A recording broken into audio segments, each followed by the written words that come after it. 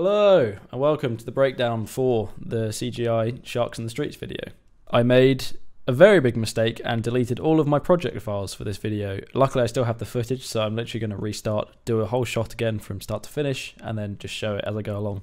The video received some really nice comments and a couple of people made some requests about how to do the thumbnail and to do like a workflow between Blender and Nuke. If anyone wants to see a video on how to do the specifics, I can do that, but I think for now I'd rather keep this video a bit shorter and just sort of do a basic idea of what I did. So we jump into the editing software and I exported my plate as an EXR.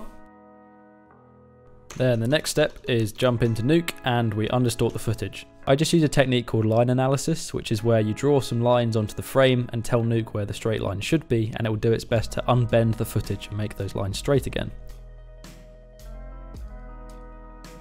So you can see the difference here if I turn that on and off. And then once it gets undistorted, it's actually moving some of the pixels further off the edge of the frame. So we essentially have a larger image now because it's been scaled up slightly to straighten the lines. Okay, so now we have our undistorted footage. I'm going to do a camera track in Nuke and looks like those points are sticking nicely. Let's create an actual piece of geometry for the floor. So if we create a card, and then I usually plug a checkerboard into the card, and this usually helps to see if it's tracking a little bit better. And then we can merge this over our undistorted footage turn the mix down to something a bit lower, and then just try and vaguely line up the cards. I'm just going to change the rotation a bit. So then next up, we want to start sending stuff to Blender to do all the CG. And this is where I did one of the things to speed up my workflow a little bit. I made a custom gizmo, which is like a custom version of the WriteGeo node in Nuke. And what I did is in the section where it saves the file, I essentially said, work out where the script is saved, then go up a couple of layers to where it has the Nuke and Blender folders, go into Blender, and then go into the camera tracks folder and save this as a camera track. So literally all I had to do is press Alt W, call it whatever shot it is, and press execute. And then if I go to that shot folder, go into Blender, camera tracks, there's the camera. So it's literally like three clicks. It's amazing.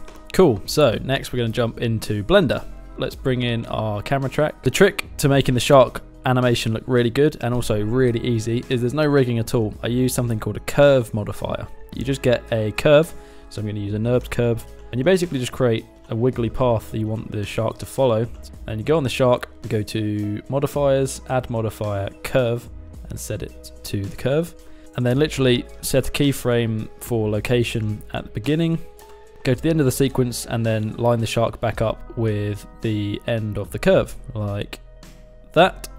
Add another keyframe, then if we look at it through the camera's view, you can see we have a shark animation. So render layers. I got one for the shark and then one for the floor. Put the shark in a new collection or a, a collection called objects. And then I'm going to put the floor in a new collection called shadows and then I'm going to create a new render layer called shadows. And then in shadows, I'm going to set the shark to be set indirect only, which means it's not going to render, but it will be able to cast shadows. And then in the shark render layer, I'm going to set the floor to be a holdout, which basically means if anything goes underneath it, then you won't be able to see it. So the next trick is I downloaded an add-on for Blender called Overscan. It's an add-on that just allows you to render outside of the camera's border. So like I was saying in Nuke, how the lens distortion meant that we'd created a bigger image than what was actually in the frame. We basically want to render the same amount on the CG, which is 1950 by 1097. So if I go into the output settings, this is where the add-on kind of installs itself. I go use overscan, and then I type in 1950 by whatever it was. So normally I just like to render a frame and just double check everything's working as it should be. So we've got the shark there, and the shadow is rendering on the floor there. So once I know everything's working, then I'm going to hit render animation and render the whole sequence.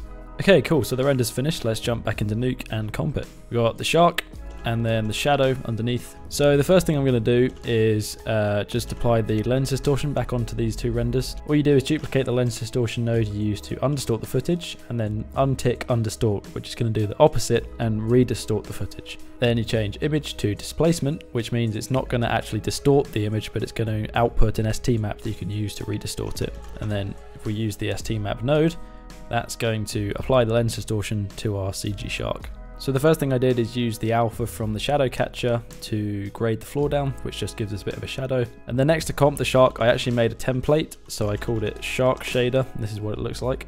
This is just a shader rebuild, and I knew that I was going to be doing this for each of the shots, and I made it into a template so that I didn't have to just recreate this node tree every single time. So it just spits out all the different passes, so we've got the diffuse and the glossy, and we've got direct, indirect, and color for each of these. First thing I usually do is just get the black and white levels to be roughly the right place. Next, I just went in and sort of looked at it. So in this, I think the specular was a bit too much, and specular is just the reflections.